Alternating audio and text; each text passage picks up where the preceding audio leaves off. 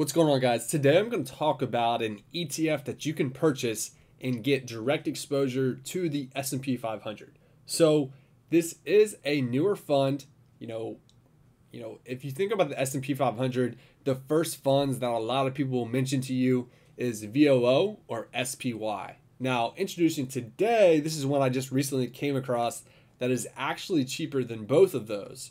It is ran by SPDR it is targeting the S&P 500, so it is going to purchase the 500 largest stocks in the United States, uh, market cap wise. Uh, but the cool thing about it is, like I mentioned, it is cheaper than VOO and SPY. So 0.02 is the cheapest I've actually seen for an S&P 500 ETF.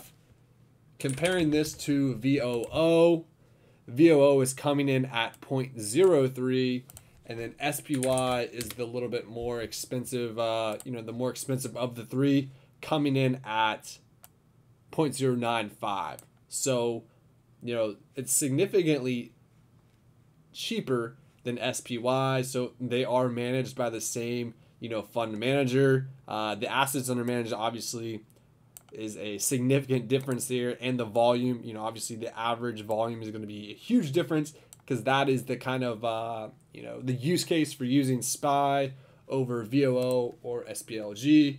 Let's actually look at real quick just the assets under management and the average volume for VOO to see how it compares.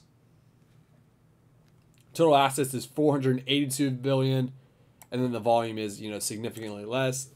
And then looking at SPLG, I think it was around 40 some billion. Yeah, so 41.4 billion average volume is still pretty good. You know, that's almost equivalent to it looks like it actually might be a little bit more than VOO. So 4.4 and 5.6. Yeah, so yeah, so it's actually bigger uh, as far as volume goes. So you could still trade some options. It's not uh, obviously not going to be as good as um, you know options on SPY, but it does look like the volume is a little bit better than VOO.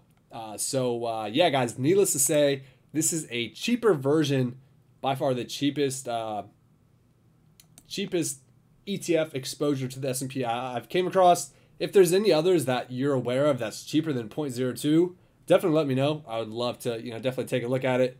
Uh, current yield 1.29%, uh, 12 month yield 1.32%. So definitely not a high yielding, you know, ETF, but uh, you are getting the growth of the S&P 500. Year to date, it's doing pretty well, up 15.4%. Last year was up 26.24%. So, you know, obviously it's going to track the same as S&P 500.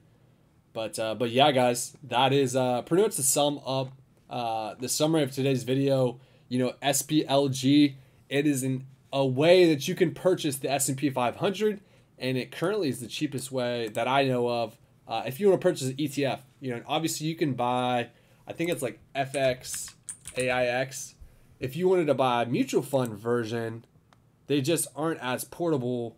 Yeah, so you know there are cheaper ways to purchase um, the S and P S and P 500, but if you want to buy it via an ETF, which you know has its pros and cons, I'll do another video kind of comparing the two. You know, uh, a mutual fund versus an ETF. Mutual funds used to be a lot more popular back in the day when fractional shares uh, was not a thing. Uh, because if you just had a hundred dollars you wanted to invest into the stock market, you know you could just do that via uh, via mutual funds. Even though it's 189, you're gonna buy a fractional you know fractional share of that mutual fund versus uh, you know back in the day, uh, ETFs you, you couldn't buy a fractional share of it. You either had to purchase the entire price or you just couldn't. Um, however, nowadays that's that's changed a significant amount. So so yeah, that, that's one thing that I know of that's different. I do know that every year mutual funds have to distribute uh, you know their, their capital gains. So you can see distributions every single year they have to uh, you know distribute capital gains. I'm not sure. Yeah, so normally it's in December. So it looks like, um, yeah, this might not be a good example, and, and you know they may not have uh,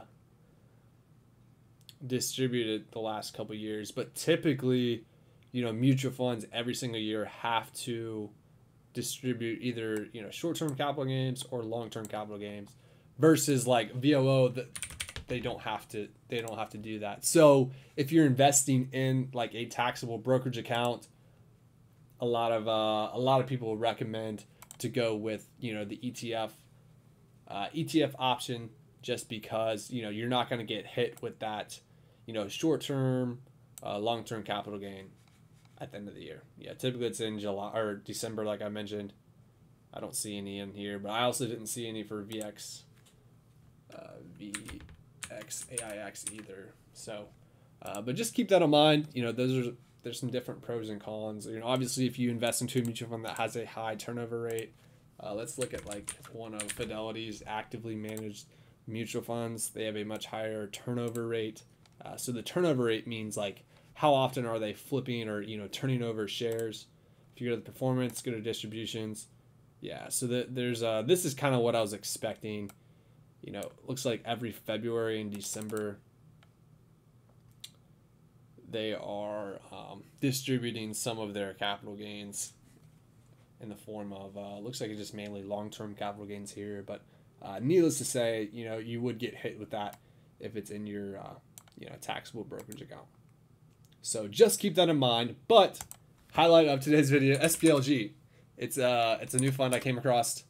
Um, it's a cheaper version. It is managed by SPDR looks like they have a couple other ones as well like SPI SPYG that's the growth version of the S&P 500 SP SPV is the S&P SP 500 value, sorry, and then SPYD is the high dividend. So there are some different ones, um, but needless to say, I was pretty pretty pleased when I came across this um, because that's always the biggest argument I see people making on uh, on the internet. You know, VOO is so much better than SPY, um, and yeah, if you know you're just passively investing into it, um, it's it's cheaper. You know, um, as far as the expense ratio goes, but you know, if you ever trade options or anything like that, or you know, um, you know, the bid ask spread is going to be tighter uh, with SPY versus VOO and SPLG.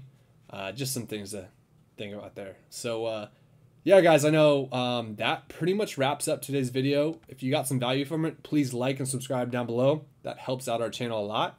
Um, and yeah, let me know what version of the S&P 500 you guys prefer. You know, SPY, VOO, are you already actively investing in SPLG? Uh, let me know down below in the comment sections. Appreciate it.